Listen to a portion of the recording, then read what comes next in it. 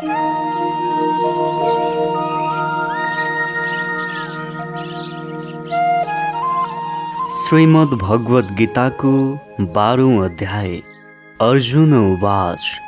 एवं सततयुक्ताय भक्तास्तवां पर्युपासते ये चापेक्षरं व्यक्तं तेषां के योगवित्तमः। पहिलो अध्याय।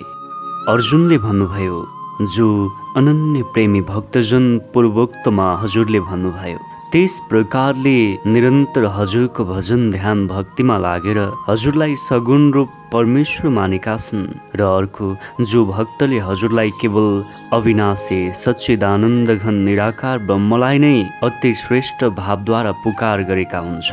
यी दुवै प्रकारको भक्त तथा उपासकमा उत्तम भक्ति तथा उत्तम योगवेत्ता कुन हो? श्रीभगवानुवाच मय्यावेश्य मनोय माम नित्ययुक्ता उपासते। श्रद्धया परयो पेतास्ते मे युक्ततममतः। दोस्रो अध्याय। श्री भगवानले भन्नुभयो आफ्नो मनलाई एकाग्र गरेर आफ्नो मनमा नै निरन्तर मेरो भजन ध्यान भक्ति उपासनामा लागेको जो भक्तजन अतिशय श्रेष्ठ श्रद्धाद्वारा युक्त भएर म सगुण तथा साकार रूपमा परमेश्वरलाई नै पुकार गरेको हुन्छ। त्यस्तो भक्तहरू मलाई योगीहरूमा अति उत्तम योगी हो भनेर मान्ने रहेको हुन्छ।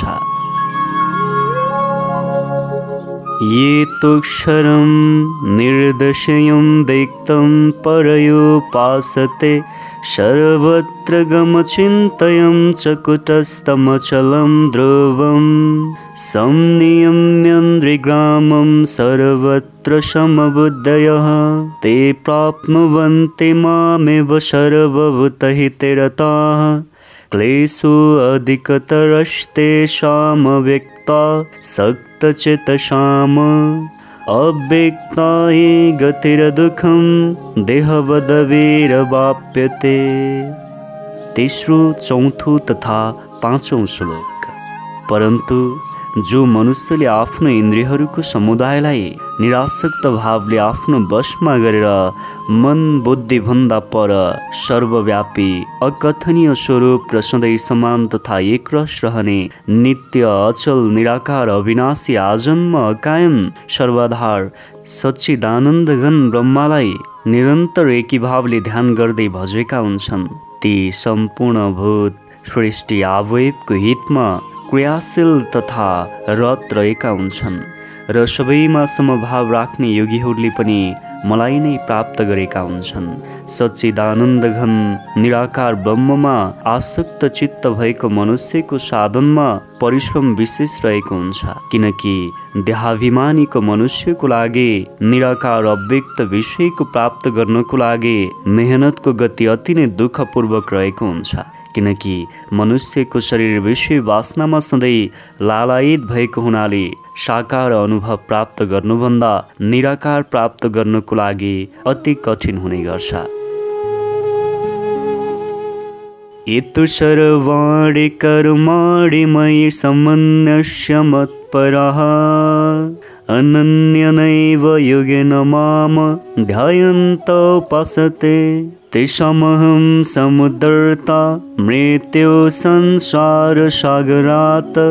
भवामि न चिरात् पार्थमया वृषितचेतसाम छैठौँ तथा सातौँ श्लोक।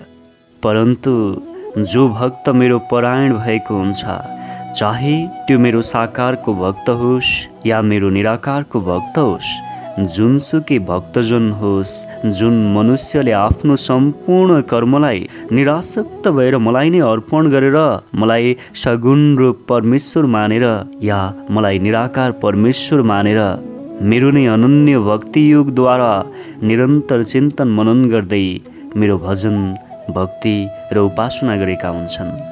हे अर्जुन जुनसुकै विधिले मेरो भक्तले मलाई नै निरासक्त भावले पुकार र चित्त लगाउने गर्छ र मेरो नै प्रेमपूर्वक भक्ति उपासना गर्ने काम सुरु गरेको हुन्छ।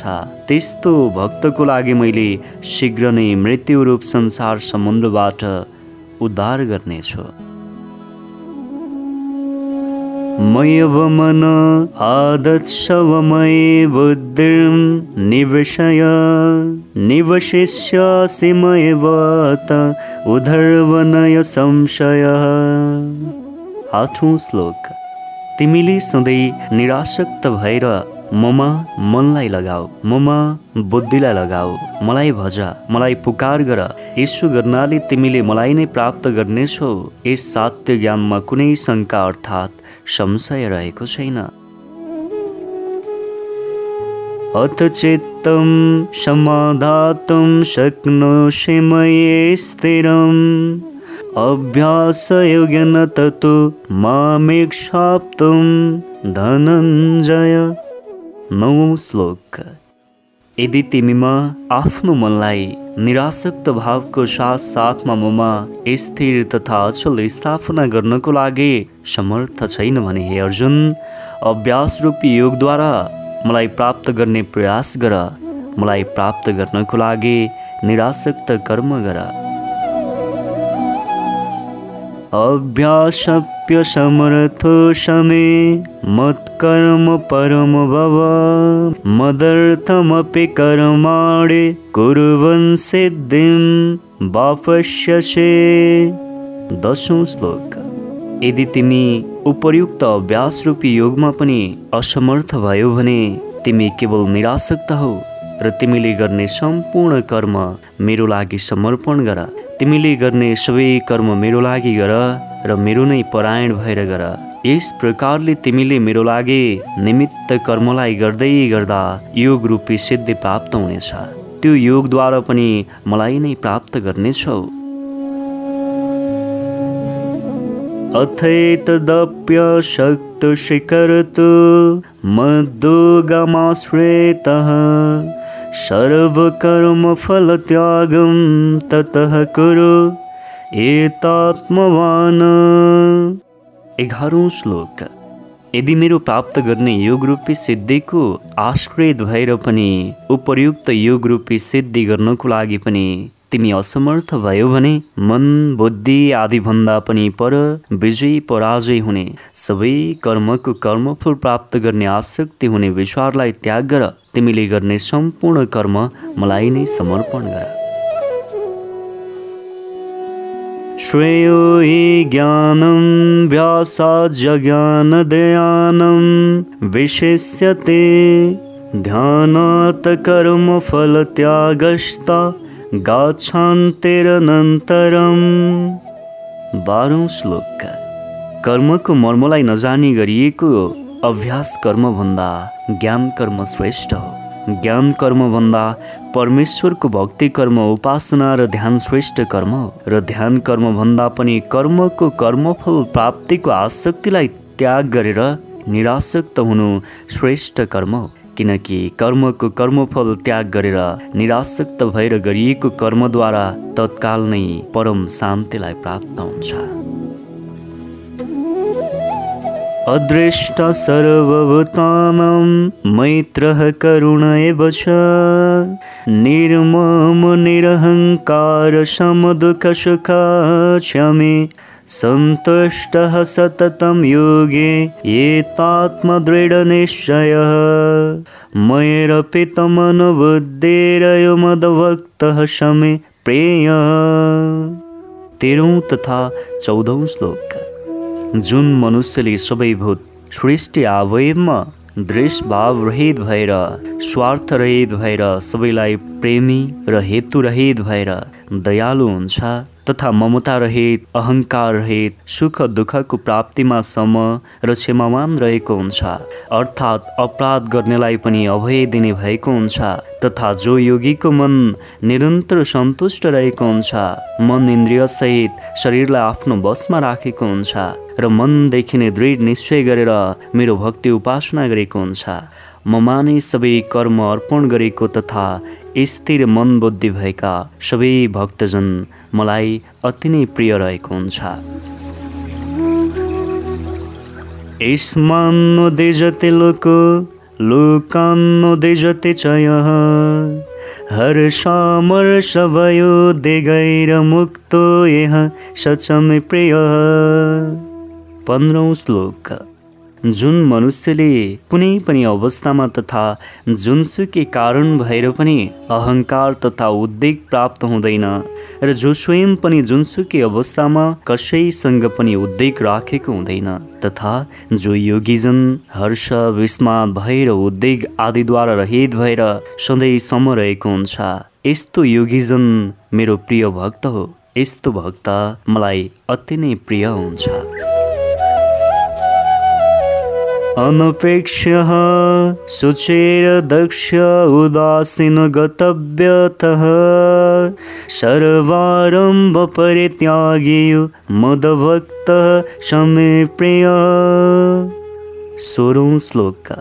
जो मनुष्य आकाङ्क्षा रहित बाह्य तथा आन्तरिक शुद्ध ज्ञान तथा कर्ममा निरासक्त तथा चतुर पक्षपात रहित र दुःख सुख लाभ हानि सबैबाट पर अर्थात् निरासक्त भएको छ। यस्तो निरासक्त भएको सबै आसक्तिको साधन त्याग गर्ने त्यागी भक्तजन मेरो लागि अति नै प्रिय छ। यो न रेष्यति न दृष्टि न सोचति न काङ्क्षते शुभाशुभ परित्यागे भक्ति मान्य शमे प्रिय।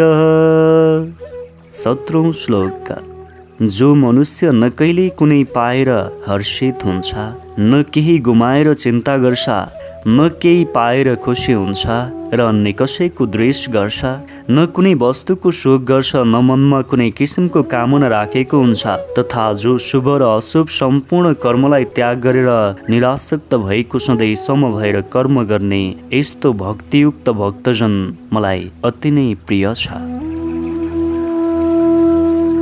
समः शत्रौ च मित्रे च तथा मानापमानय शीतोष्णसुखदुःखेषु समः सङ्गविवर्जितः तुल्यनिन्दास्तुतिर्मौनिसन्तुष्टयन केनचित्। अनिकेतः ये स्थिरमतेर्भक्ते मनमे प्रेयो नरः। अठारौँ तथा उन्नाइसौँ श्लोक। जो मनुष्य शत्रु मित्रमा र मान अपमानमा सुख दुःखमा समरहेको हुन्छ तथा सर्दी गर्मी लाभ हानि खुसी विस्मात आदि द्वन्द्वमा पनि सधैँ समरहेको हुन्छ र शरीर संसार विषय वास्नुमा सधैँ आसक्ति रहित भएको हुन्छ। जो मनुष्य निन्दा घृणा स्तुतिलाई पनि समान हो भन्ने जानेको हुन्छ। मननशील भएर जुन किसिमले पनि शरीरको निर्वाह गरेर पनि सधैँ सन्तुष्ट रहेको हुन्छ र रहने स्थानमा पनि ममता र आसक्तिद्वारा रहित भएको तथा स्थिर बुद्धि भएको भक्तजन मलाई अति नै प्रिय लाग्छ। ये तु धर्म्यामृतमिदं युतक्तं पर्योपासते श्रद्धानमतपरमा भक्तास्ते वह मे प्रेय। श्रीमद् भगवद् गीताको अन्तिम तथा विषौँ श्लोक। परन्तु जो श्रद्धायुक्त मनुष्य मेरो परायण भएर माथि भनिएको धर्ममय अमृतलाई निष्काम प्रेम भावले सेवन गरेको हुन्छ। यस्तो भक्त मलाई अतिशय प्रिय लाग्छ। ॐ तत्सदित श्रीमद्भगवद्गीता सुपनिषत्सु ब्रह्मविद्यायां योगशास्त्रे श्रीकृष्णार्जुनसंवादे भक्तियोगनाम द्वादशोऽध्याये यस प्रकारले उपनिषद ब्रह्म विद्या तथा योग शास्त्र रूपमा रहेको श्रीमद् भगवद् गीताको श्रीकृष्ण अर्जुन संवादमा रहेको भक्ति योग नामको बाह्रौँ अध्याय समाप्त भयो